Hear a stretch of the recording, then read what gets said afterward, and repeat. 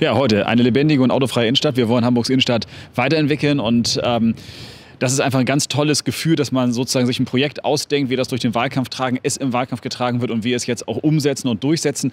Wir haben drei Leitprojekte identifiziert, dass wir gesagt haben, Jungfernstieg inklusive Bergstraße, die wollen wir im Prinzip autofrei machen nur für Busse und für Fahrradfahrer und dann den angrenzenden Raum entwickeln. Wir haben dann gesagt, bei der Mönckebergstraße, auch bei der Mönckebergstraße gibt es jetzt eine große Baustelle. Wollen wir was entwickeln? Wollen wir die Busse sukzessive auf die Steinstraße legen, bis hin zu einem Versuch, das auch mal für ein paar Wochen ganz rauszunehmen, den Busverkehr und zu gucken, wie entwickelt sich dieser Raum da, um dann sozusagen Steinstraße und Mönckebergstraße miteinander zu verknüpfen und gleichzeitig das Thema Burchardplatz, wo wir gesagt haben, wir wollen Hamburgs Welterbe entwickeln, das Kulturhausviertel.